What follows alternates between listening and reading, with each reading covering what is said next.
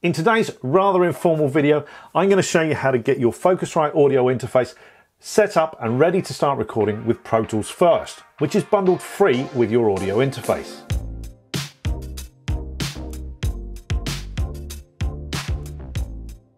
So a couple of things first.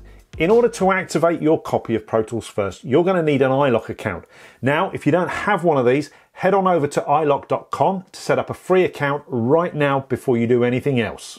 Next, you need to register your Focusrite audio interface, which you do by going to customer.focusrite.com.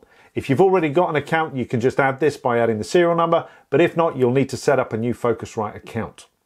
So now you've got your iLok account and you've registered your product. You now need to download the necessary software to get you started.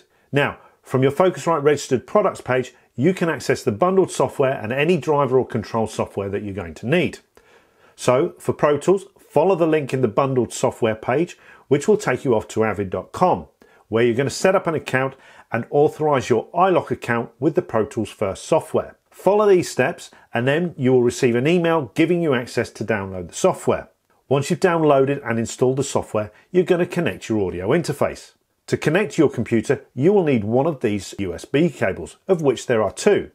The first one, a USB-C to USB-C, which if you have a recent computer such as a MacBook Pro, this is the one you should use for best performance. Alternatively, you may need to use this cable, which has a USB-C on one end for the audio interface, and on the other end, a standard USB connector plug, which you'll connect directly into your computer. Next, we're going to connect the microphone to the interface with an XLR cable. The female end, which looks like this, plugs into your microphone. And then the male end, which looks like this, plugs into an input on your audio interface. If you're using a condenser microphone, you will likely need to enable the 48 volt phantom power by pressing this button here. And then you can use the gain control to set the mic level. The LED ring light indicates the level of signal coming in, which flashes green for a good signal and changes to orange and red when the signal is peaking and a little hot. So dial it up as far as you can without it peaking. Now if you're monitoring with headphones, simply plug them in here and you can control the level with the knob directly above. If you're using studio monitors, you can connect them via the two jack outputs on the rear of the device and the level is controlled by the large knob on the front panel. Now you're ready to record. Open the software and in Pro Tools give your project a name. In the Setup menu, you'll need to make sure that you select your audio interface in the Playback Engine settings. Here you can see the name of the audio interface. Next, create a track. Then make sure you have the right input and output settings.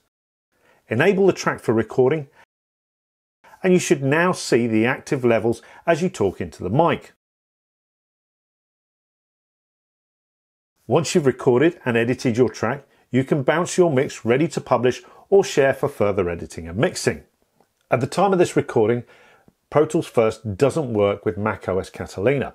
So alternatively, you could use GarageBand, which comes free with any Mac that you buy, um, and is, should be should be pre-installed on your machine. If not, you can go and download that from the App Store.